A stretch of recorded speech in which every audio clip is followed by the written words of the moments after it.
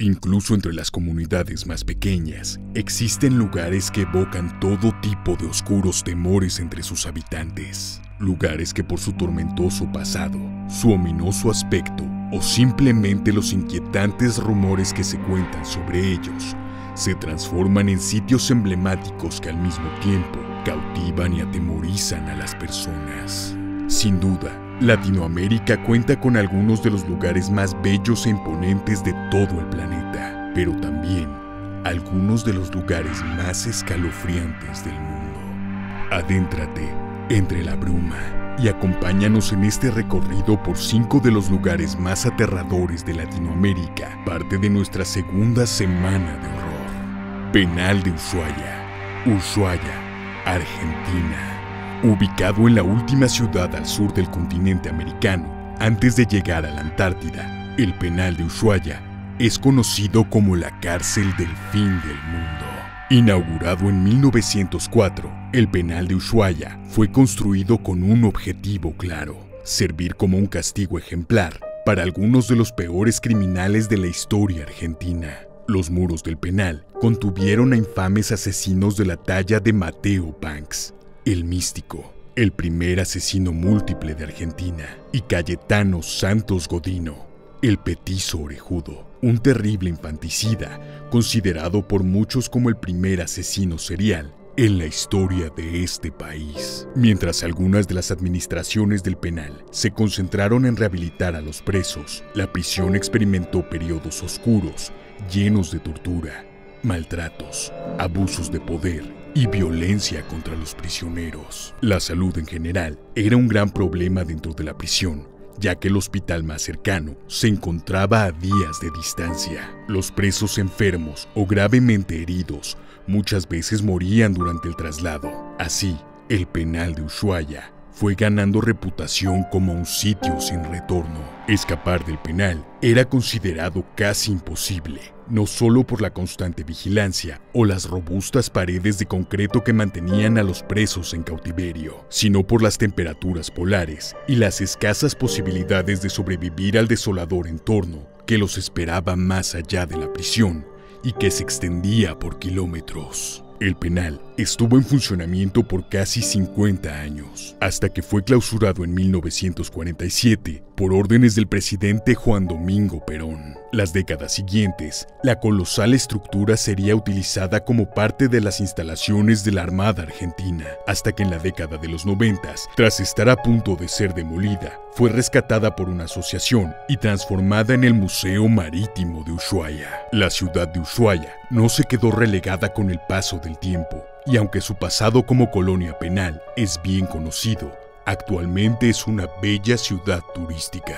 A la fecha, entre locales y visitantes, corren rumores de sucesos extraños dentro del penal. Para algunos, se trata simplemente de la atmósfera y el recuerdo de algunos de los años más oscuros de la cárcel. Para otros, es como si los muros aún aprisionaran la desesperanza, el dolor y la tristeza de los condenados que alguna vez vivieron en la cárcel del fin del mundo. Las Torres del Cisal, Barquisimeto, Venezuela.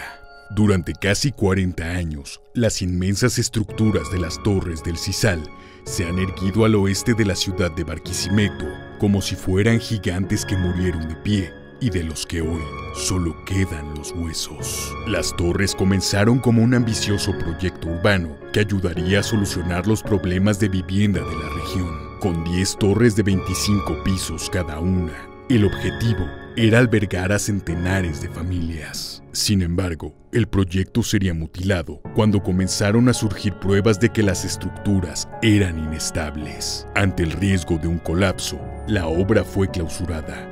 Para entonces, el proyecto estaba al 50% de su construcción con la mitad de las torres prácticamente terminadas. Fue entonces cuando la tragedia comenzó a revestir los pilares de acero y concreto de las torres, pues según la leyenda urbana, el contratista a cargo de la obra, en bancarrota por la cancelación del proyecto, subió al piso más alto de una de las torres y se lanzó al vacío. Este sería apenas el primero de los más de 30 suicidios ocurridos en las torres del Cisal. Actualmente las estructuras se encuentran en un decrépito estado de abandono, castigadas por el vandalismo, el paso del tiempo y el azote de los elementos. Las gigantescas edificaciones se han transformado en un macabro monumento que parece atraer a los desesperados, invitándolos a saltar. Existen todo tipo de oscuros rumores en torno a las torres del Cisal, desde los que aseguran ver figuras espectrales que deambulan sin rumbo entre los pisos de las torres, hasta los que hablan de sectas que utilizan las estructuras vacías para realizar siniestros rituales. Los testimonios más escalofriantes son los de algunos exploradores urbanos que afirman que en ocasiones al llegar a los pisos superiores, se puede sentir algo que te llama hacia el borde del edificio, y al contemplar la prolongada caída que espera bajo tus pies, escuchar una débil voz que susurra, lánzate. La zona del silencio, Bolsón de Mapimí, México. En términos generales, la llamada zona del silencio se encuentra en algún lugar del enorme desierto que comparten los estados de Chihuahua, Durango y Coahuila, en un área conocida como Bolsón de Mapimí. Sin embargo, definir con precisión la ubicación geográfica de la zona del silencio resulta complicado. Para algunos, la zona del silencio se trata, más que de un lugar estático, de un fenómeno intermitente creado por condiciones atmosféricas específicas, mientras para otros no es más que un simple mito popular.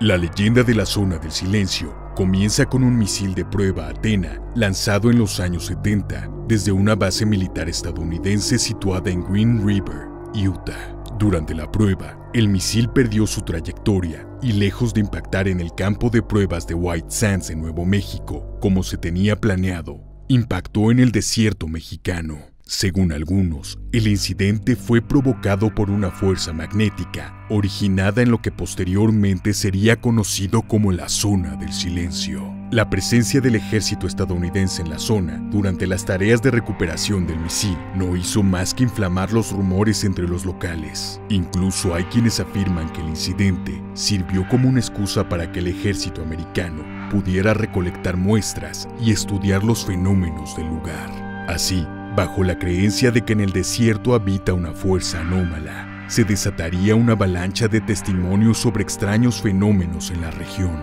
brújulas enloquecidas que giran sin control, transmisiones de radio que se interrumpen abruptamente y aparatos electrónicos que repentinamente dejan de funcionar.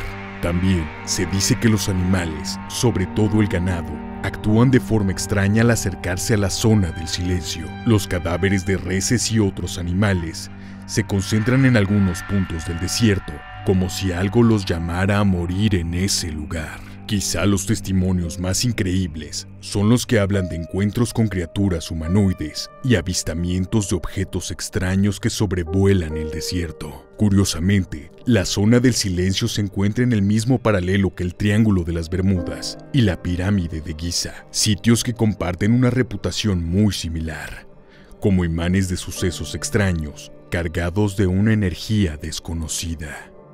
El Salto del Tequendama Cundinamarca, Colombia. Durante la primera mitad del siglo XX, el Salto del Tequendama, ubicado a solo kilómetros de la capital colombiana, fue el sitio predilecto de los suicidas bogotanos. La razón, las afiladas rocas que aguardan en la base de la cascada, que prometen un final sin escapatoria. Las aguas del Salto del Tequendama al igual que los cuerpos de los suicidas, se desploman en una caída libre de 157 metros, que termina al adentrarse en el llamado Lago de los Muertos, conocido así por sus poderosas corrientes que arrastraban a los cadáveres, muchas veces desapareciéndolos definitivamente. Debido a que rara vez se lograban recuperar los cuerpos de los suicidas, se desconoce el número de personas que se arrojaron del salto del Tequendama, pero los suicidios eran tan frecuentes que el gobierno se vio obligado a colocar policías que custodiaran el borde del abismo. El Hotel del Salto del Tequendama, construido en 1923 para alojar a la clase más opulenta de Colombia, atraída ahí por la belleza del lugar, es uno de los pocos testigos que han visto a los innumerables suicidas que a lo largo de los años han marchado hacia el abismo como una macabra procesión. Mientras el hotel estuvo en funcionamiento, los centenares de testimonios de personas que aseguraban haber tenido todo tipo de encuentros con lo inexplicable en su interior le ganaron al edificio la reputación de uno de los lugares más embrujados de toda Colombia. A medida que las aguas del Salto se fueron haciendo más escasas y el cauce del río Bogotá se fue contaminando por la actividad humana, el turismo en la zona se volvió menos frecuente, obligando al hotel a cerrar sus puertas. Luego de décadas de abandono, el edificio fue restaurado en 2014 y convertido en la Casa Museo Salto del Tequendama, Biodiversidad y Cultura. Sin embargo, la sombra de la tragedia proyectada por los suicidios y el halo de misterio creado por los rumores jamás se han desvanecido. Pasos incorpóreos que rondan incansables por los pasillos, murmullos que flotan en los salones vacíos durante las madrugadas y figuras espectrales que vagan sin rumbo por los edificios son solo parte de los testimonios que han alimentado la leyenda del antiguo hotel. Además, Motoristas que se detienen a mirar el salto por las noches han afirmado escuchar gritos desgarradores que se mezclan con el rugido de la cascada, como si los suicidas del salto del Tequendama estuvieran condenados a revivir su caída una y otra vez por toda la eternidad. Antiguo Hospital Militar, Quito, Ecuador. Construido a principios del siglo XX, el antiguo Hospital Militar de Quito es una construcción masiva que consta de 10 pabellones que a lo largo de su historia presenció el sufrimiento y la desesperanza de los enfermos, la brutalidad de la guerra y la miseria que sufren los menos afortunados. Inició en 1900 bajo el nombre Sanatorio Vicente Rocafuerte, creado para tratar a los enfermos de una epidemia que para entonces no tenía cura y que cada año causaba la muerte de miles de personas en todo el mundo, la tuberculosis. Posteriormente, en 1910, el edificio sería adoptado por el ejército ecuatoriano y en 1917 comenzaría a funcionar como hospital militar. Durante la Guerra de los Cuatro Días, en 1932, el hospital sufrió el azote de la artillería pesada y terminó parcialmente destruido, siendo uno de los edificios más afectados de todo el barrio de San Juan. El hospital reanudaría su funcionamiento después de su reconstrucción y continuaría brindando servicios médicos hasta la década de los 70.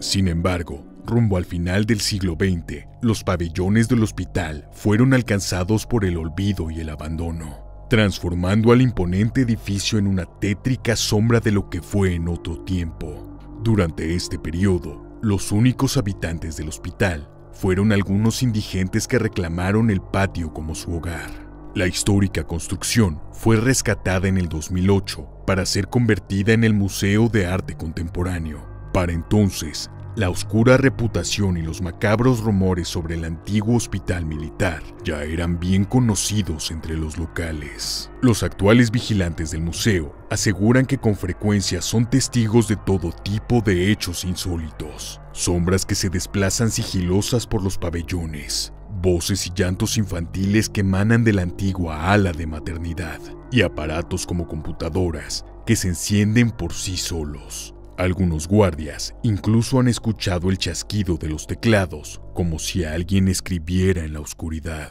Aunque no existe una cifra oficial, no es difícil dimensionar el número de personas que murieron dentro de las instalaciones del antiguo hospital militar de Quito. Quizá por ello, algunos visitantes aseguran haberse topado con múltiples apariciones que corresponden a las distintas etapas que atravesó el edificio. Soldados, frailes, religiosas, doctores, pacientes y enfermeras, como si estas sombras de otro tiempo guardaran testimonio del sufrimiento humano que alguna vez se vivió dentro de los pabellones del antiguo hospital militar de Quito.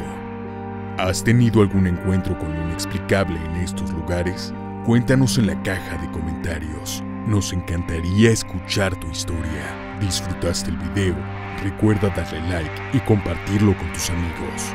Síguenos. Entre la bruma